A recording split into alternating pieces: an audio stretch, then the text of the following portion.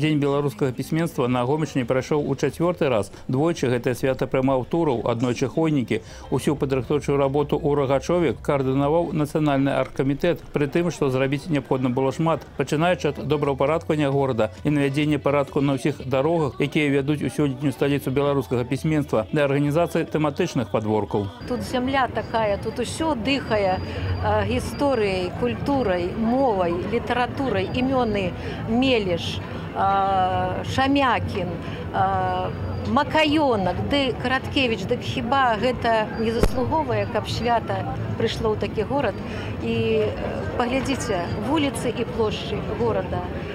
Сабралася ўся краіна, уся Беларусь. Па сутнасці дзень беларускага пісьменства свята нацыянальнае, якое адзначаецца штогод. Пры гэтым яго канцэпцыя ніколі не змяняецца. Неабходна паказаць еднасць беларускага друкаванага слова з гісторыі беларускага народа. Нам ёсць чым ганарыцца. У чым можна было ўпэўніцца падчас наведвання друкарскага двара 16 стагоддзя. Менавіта такім абсталяваннем карысталіся першыя кнігадрукары і менавіта такім чынам выдавалася першая літаратура. Усе гэтыя станкі, дарэчы, з'яўляюцца дзеючымі экспанатамі першага беларускага музея пісьменства. Зараз ён ствараецца ў вілейцы, а пакуль кожны жадаючы мог надрукаваць ліст са скарынаўскай бібліі па тагачасных тэхналогіях ці вырабіць паперу, на якой біблія убачыла свет амаль 5 стагоддзяў таму. Вось гэтая папера выраблена па тэхналогіі 16 стагоддзя.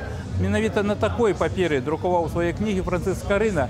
Яна, дарэчы, вельмі высокай якасці, хоць у яе аснове ўсяго два кампаненты вада і лён. Адкрыццё дома кнігі падзея, якую ў Рогачове чакалі даўно. Па сутнасці ў райцэнтры да гэтага часу нават не было спецыялізаванай кніжнай крамы, ды і бібліятэка размяшчалася адначасова ў некалькіх будынках у розных кутках горада. Цяпер гэтую сітуацыю выправілі. Дом кнігі па-рагачоўскі гэта шматфункцыянальны комплекс, аб'яднаны культам кнігі. Асаблівую ўвагу пры гэтым надалі афармленню дзіцячай паловы бібліятэкі. Урэшце, калі не долучыць да чытання ў такім узросце, потым будзе поздно. У нас есть дерево творчества.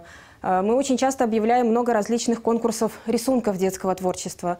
На этом дереве творчества мы по- помещаем детские рисунки. У нас есть замечательный ростомер, на котором мы измеряем не только рост ребенка, возраст, но и помечаем, в каком возрасте до какой книги дорос ребенок. Сярод удзельнікаў сёлетняга дня беларускага пісьменства ў Рагачове прадстаўнікі акрэдытаваных у краіне пасольстваў і ўпершыню амаль 20 беларускіх дыяспор з блізкага далёкага замежжа кажуць, што свята ім вельмі падабаецца і вельмі прыемна пачуць родную мову. Хаць аб каранях на новым месцы жыхарства яны таксама не забываюцца. У Францыі, напрыклад, нават беларускае народнае свята адзначаюць і спяваюць наш гімн каля эфелевай вежы. Первая акция организована ассоциацией и посольством Республики Беларусь, которая называется «Заспеваем гимн разом». Вот мы пели гимн разом Раздали белорусские флажки усім нашим артистам, гостям. Туристы на нас смотрели, нас снимали. Мы белорусский гимн пели два раза, потому что все хотели нас снять. Штогод у Беларусі выдаецца каля 11 тысяч найменняў кніг,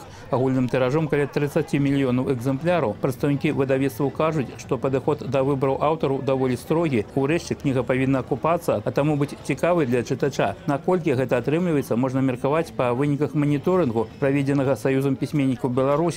Дарэчы, у Рагачове пісьменнікі пасадзілі сад і запэўнілі, што новыя ідэі ёсць у кожнага з іх. Мы провели опрос всех библиотек. И оказалось, что за два года э, книги белорусских писателей э, затребовали более двух с половиной- с половиной миллионов читателей. Вот вам ответ, читают ли наши люди книги. Олег Сентюров, Евген Макеенко, телерадиокомпанія «Гомель» з Рогачова.